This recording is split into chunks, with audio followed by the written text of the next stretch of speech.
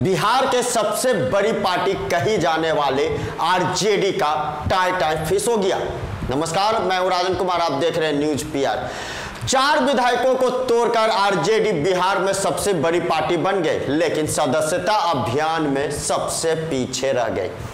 RJD का 2024 का plan, विधानसभा चुनाव। लोकसभा चुनाव पर नज़र टिकी हुई है।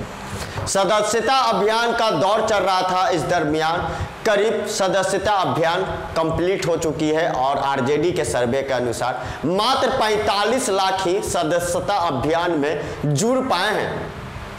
करोड़ों की थी बात कि करोड़ों से करोड़ लोग इस सदस्यता अभियान में जुड़ेंगे और आरजेडी मज़बूत होगी। लेकिन ऐसा नहीं हुआ। तेजस्वी ने जो प्लानिंग किया था सदस्यता अभियान को लेकर, वो प्लानिंग फेल हो गई। यानी आरजेडी को झटका लगा।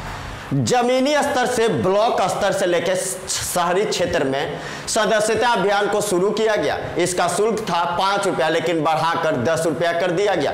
जिस सदस्यता अभियान को ब्लॉक स्तर से लेकर शहरी क्षेत्र तक किया जा रहा था, उसमें आरजेडी ने क्यास लगाया था कि सदस्यता अभियान में भारी से भारी युवाओं को जुटाएँगे और आरजेडी को एक मज़बूत पार्टी बनाकर 2024 विधानसभा और लोकसभा चुनाव में उतरेंगे। लेकिन 45 लाख पे ही आरजेडी का सदस्यता अभियान समाप्त हो गया और पैंतालीस हज़ार लोग ही आरजेडी के दामन थाम पाए।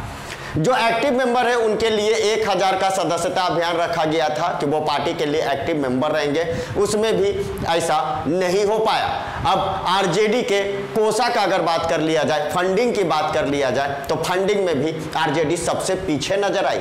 कई नेताओं, मंत्रियों का कहना है कि जल्द से जल्द फंडिंग को मज़बूत कर लिया जाएगा। लेकिन सदस्यता अभियान ने आरजेडी का पोल खोलकर रख दिया और 45 लाख युवा ही आरजेडी में शामिल हो पाए। इस सदस्यता अभियान का हिस्सा बने।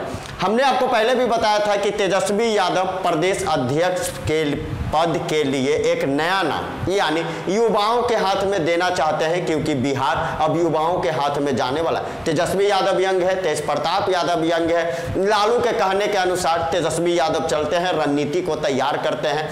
वायम समीकरण वाली पार्टी अब ए टू जेड की पार्टी बन गई है, तेजस्वी यादव ने वो करके दिखाया।